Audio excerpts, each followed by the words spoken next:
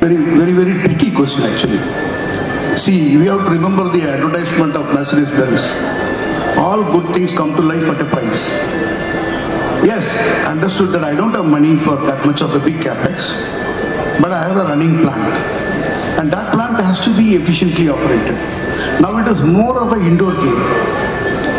I have got a separate presentation on what people have discussed about the emerging scenario tomorrow. But that presentation will tell you what is that we need to do internally as indoor game. How do we improve efficiency? What was our traditional way of manufacturing?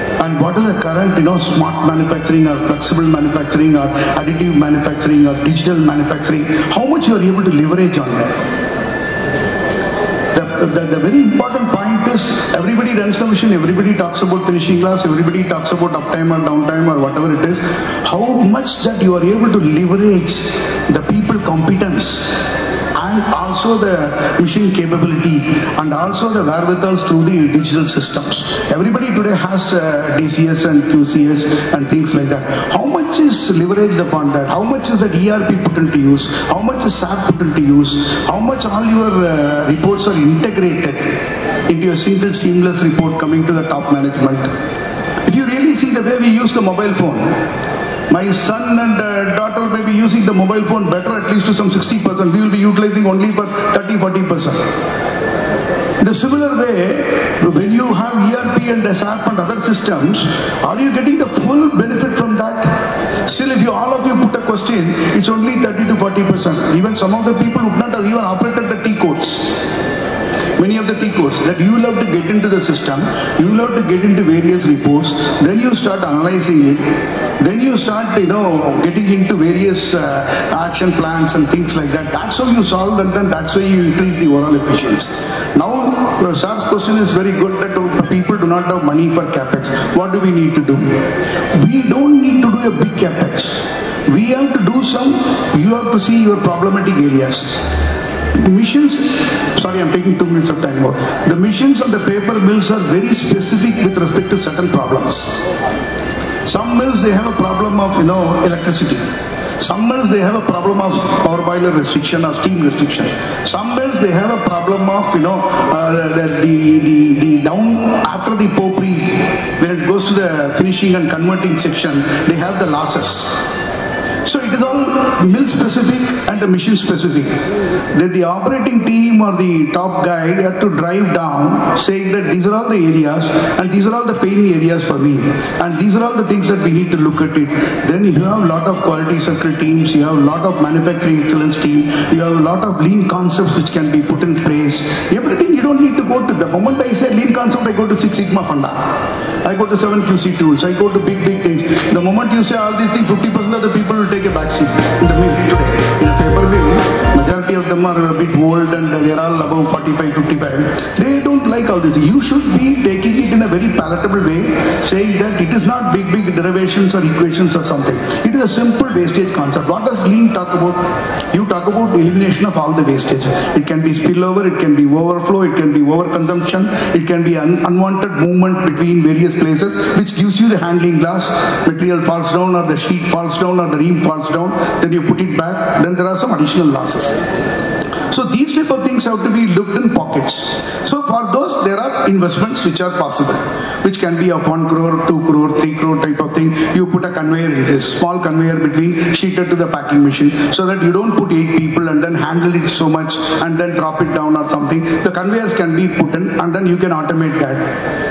There can be people are putting a, earlier zamana mein, uh, sorting, counting, packing used to be there in the paper industry. Slowly people have installed tab inserters on the sheet cutters and auto counting is happening. Then they started packing it. So those much of uh, people are reduced and the output started increasing. This can be done on, suppose you have five sheeters, you do it on two, three sheeters. At least you start with some export, you know, from which cutter you are sheeting all the export consignments, you start doing there. Or a primary, pre-prime customers where you are doing it, you start attacking those individual equipments.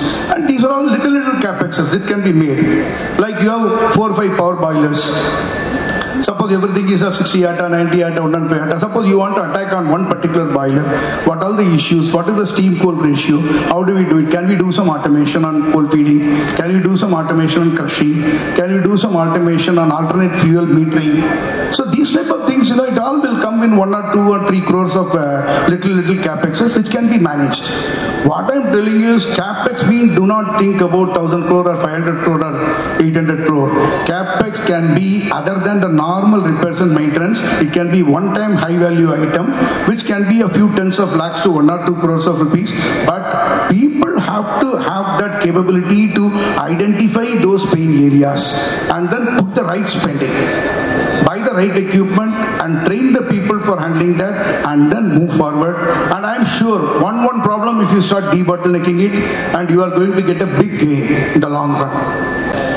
Uh, actually mr santosh Aklu, our AD marketing has spoken about the the products the product mix and the products which are, which were in demand and which are in demand and uh, which is going to be in future after our forecast and various markets have I would speak more about the technology front and the, the how we are able to keep ourselves afloat in spite of you know uh, Kaveri drought and uh, COVID, then market slowdown and things like that. The point number one is the the people front the people front, you know, without compromising on the qualification of the people and the capability of the people, selecting the right people and then grooming them, getting them from the institute and then grooming them and then keeping them with you by providing proper training to them. That's the core strength of TNPL. That's why if you see many of the people who joined in TNPL as a graduate engineering training and they almost retire as a, uh, senior most level people, to that extent they are very passionate in TNPL and the company takes care of them very well. So that's a people front. And the second thing is the men and missionaries. When we talk about missionary, it's not just because of uh, you know having some fund and having some investment uh, capex allocation and doing something with a paper mission selection or paper board mission selection. It is something like uh, do a proper uh, research and a study for what is in demand, what is going to be 10, 20 years down the line, what's happening elsewhere in the developed countries, and what's going to travel down within another 10 years. That's how the, all the investments are being made. When the investments are made, and it is not just per se the tonnage, the volume, no? 200,000 tons per annum or something like that. What is going to be the product mix and what is going to be the water and energy consumption per se per ton and what are going to be the furnishers or various recipes of the raw material. Because these three things are kept at the foremost uh, topic on the table. Because we know the India, you know, it's a net fiber importer. We don't have surplus. Net fiber importer, that means we import a lot of waste paper, we import a lot of uh, hardwood and softwood pulp and PCT and pulp. So what is more important is how we are going to manage the raw material front. Somebody was speaking in the morning also about the raw material because that's a basic uh, thing. And the second one is to have that raw material availability for you, what is the best technology that we should select, which will protect the environment with the lowest usage of those raw materials and the natural resources. Here when I say natural resources, is morning also we deliberated water, steam and power. It is very, very important. All of us, we know we have a tremendous stress on the energy cost globally. It's not only within the country. In Scandinavia and Europe, many mills, pulp mills and paper machines are shut for the high energy cost. So when we are grappling with that kind of problem, so the strategy what we adopted right from the beginning, maybe from late 80s onwards, in terms of the conservation of the natural resources, that has really helped us in selecting the right technology. The third very important point is okay, you have talked about the product, you have selected the best technology. Then the last one is how do you utilize the, those assets? It is the asset utilization basically. When I talk about asset utilization from the factory point of view, many of you are from the operating side, it's only talking about the mission utilization. When I say machine utilization, it's uptime on each machine. Every manufacturing unit, let it be a small cutter, let it be a winder or rewinder or a, a big paper machine, what is that mission efficiency? What is the OEE of that mission? And how we are going to maintain that? That's what is more and more important. And we never talk about downtime in TNPL. We only talk about uptime. Uptime of 95-96%, that should be the target. Many times people say downtime of 10% is high, 8% is high or something. We talk about only uptime, 95% uptime. When I say specification, it's 95% confidence level.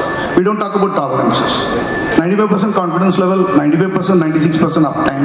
And those type of, you know, thinking right from the beginning, right from the conceptual stage until implementation, that has really helped us. And the latest addition, without spending much of time, I'm just saying the addition of the hardwood pulp mill.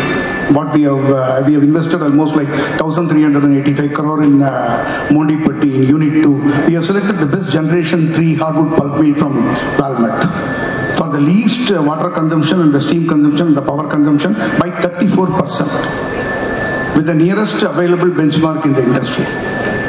And we, we have talked about the Andritz uh, power boiler, uh, sorry, recovery boiler, soda recovery boiler, and also we selected the best chlorine dioxide plant. And right from the chipper, all the things are uh, supplied by the uh, the best uh, OEM across the globe. And this is what has really helped us, we are putting our best efforts in utilizing the asset in a proper way.